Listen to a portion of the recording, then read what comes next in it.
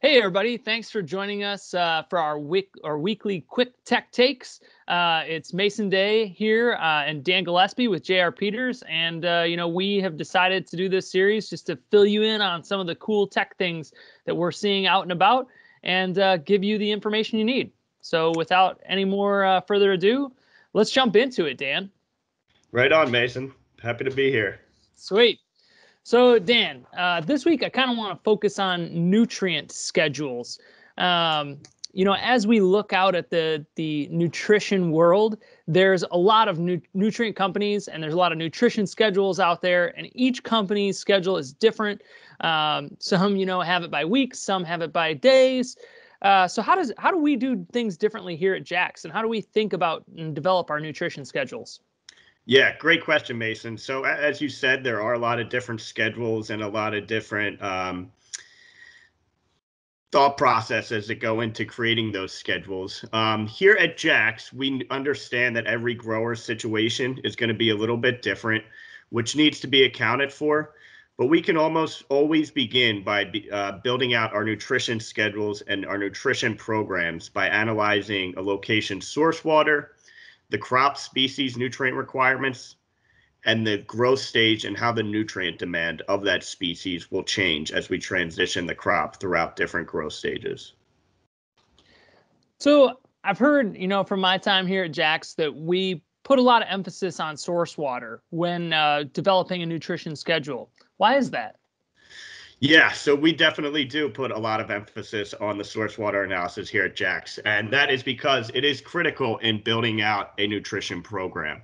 So having a detailed water analysis, it's going to tell you what the pH of your water is, the alkalinity, the nutrition concentration of that water, and it's also going to tell you if there are any harmful ions present in the water, such as sodium and chloride. So once we analyze this information, it allows us to select fertilizer formulas that will properly balance the nutrition concentration of the solution, the EC, the electrical conductivity, and the pH of the solution. So having a laboratory on site at our headquarters in Allentown, Pennsylvania, it allows us to provide this information to our growers and really work with the growers to ensure they're selecting the correct fertilizer formulas for their specific scenario awesome. You know, uh, I've seen a lot of different people doing a lot of different things when it comes to water sources. Uh, you know, whether you're using reverse osmosis, trying to get things as pure as possible, or dipping a bucket into a pond.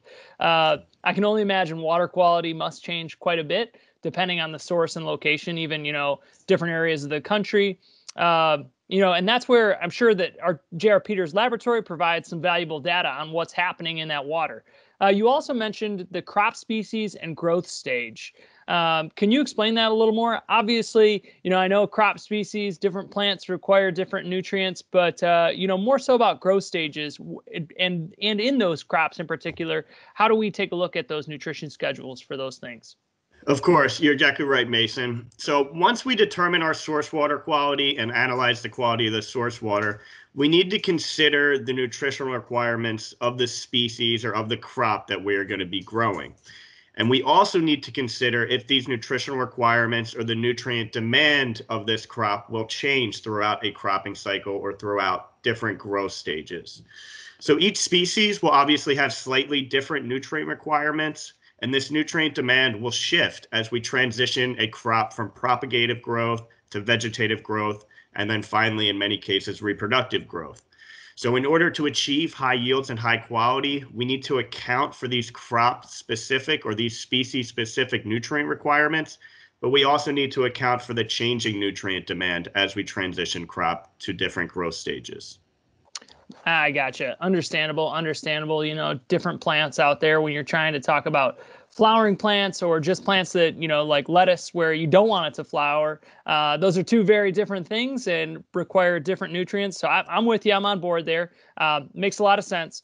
So once we account for these factors, um, how do how do we at Jack's put all this information together to create that schedule, right? That that's something that we can hand over to a grower and say, mm-hmm. "Hey, let's rock and roll." Uh, how how does that kind of finish out the process? Sure. So once we've analyzed our source water quality, you know, we see what we're starting with, what's our pH or alkalinity, et cetera. Once we've looked at our source water quality, we determined the species specific nutrient requirements and how this nutrient demand will change throughout a cropping cycle.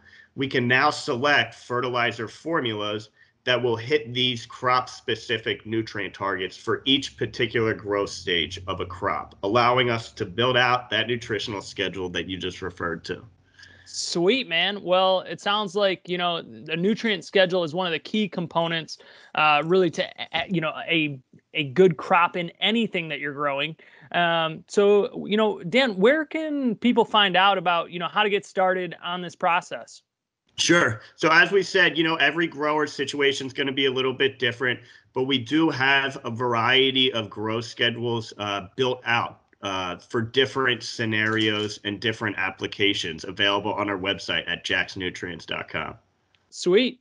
All right. Well, hey Dan, thanks for joining me today. And uh, you know, like Dan and I were talking about, it is important to have a great nutrition schedule, uh, just so you know what your, you know, you and your growers know what they should be doing, when they should be doing it, and know, you know, therefore, when things start to miss targets, what's going on. Um, and as Dan mentioned, water quality, you know, a water initial water source test is very important to understand what's going on. And you can also uh, request a test kit for those on our website uh, at www.jrpeters.com. And so, yeah, without that, Dan, thanks for hanging out with me this week. Can't wait to talk to you next week and see what we can come up with. All right, everybody, take it easy. Happy holidays.